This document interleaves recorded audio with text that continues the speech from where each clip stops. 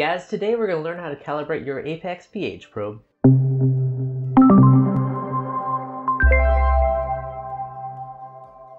Hey guys, Devin with ReefDudes, and today we're going to talk about calibrating your pH probe. Now, there's kind of two schools of thought. Some people think, why bother monitoring pH? And there's other people that love to do it. So, But if you are going to take the time to monitor pH, you want to make sure you're doing accurately, otherwise what's the point?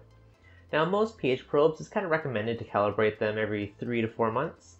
Uh, mine's probably been four or five months, so today we're gonna get that baby calibrated to make sure it's actually giving us a proper accurate reading. To start, you'll need to take your calibration solution and float it in your tank water to equalize it to about 25 degrees. So I'm gonna take those two packets and let them sit in my overflow for about 20 minutes. Um, while they're soaking, they're, if you're doing a pH probe just in your tank, you'll want to use a pH 7 and a pH 10 solution. If you're calibrating a calcium reactor, you'll want to use a pH 4 and a pH 7 you're basically calibrating it to the range that you know you're testing for, which will give you more accurate results. So now my packets have done soaking, I'm going to remove my pH probe from its holder, which is kind of hiding in the back here. And I'm just very lightly wiping off the probe, just because I want to make sure that there's no tank water getting into the system, or into my calibration solution, as it may throw it off slightly.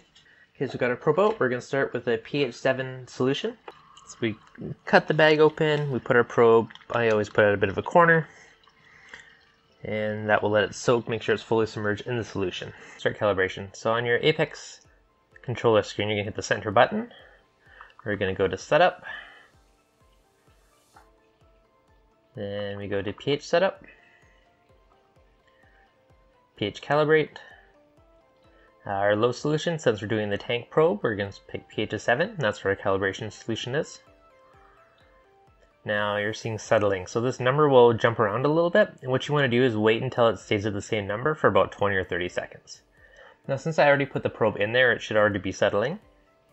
So 732, that should be about right. So it hasn't moved in about 10 or 15 seconds, so I'm going to say OK. So next is asking for the high solution. So we'll take our probe out of the pH 7 and put it into the pH 10 solution.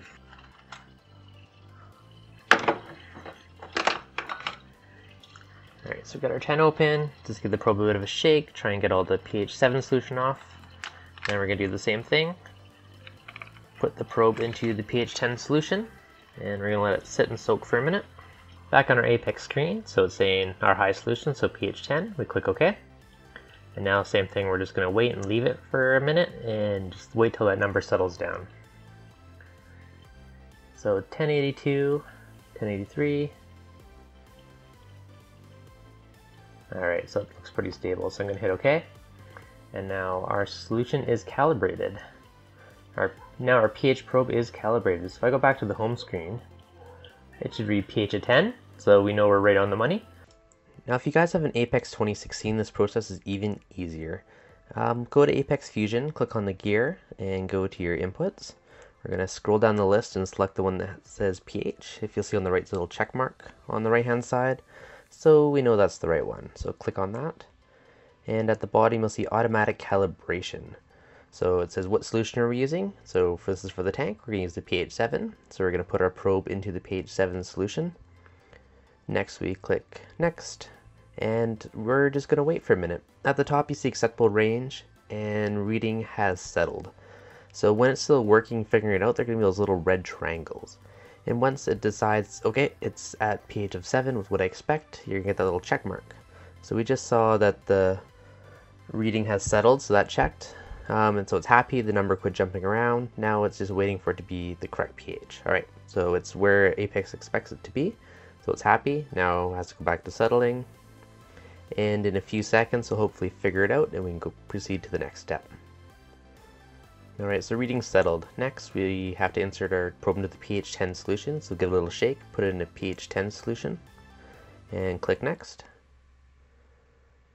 And same thing, we just have to wait for it to decide it's happy with the pH reading and that the reading is settled. So if you guys have an Apex class or Apex 2016, they really did make this a quick, easy process. Um, it takes most of the guesswork and thinking out of it, and you basically hit next and wait for it to do its thing. So we're just waiting for the pH range to settle. All right, pH is happy. Now we're waiting for the number to settle. And done. So as you guys can tell, it's a pretty quick and easy process to calibrate that pH probe, and if you're going to be monitoring pH, you might as well make sure you're monitoring accurately.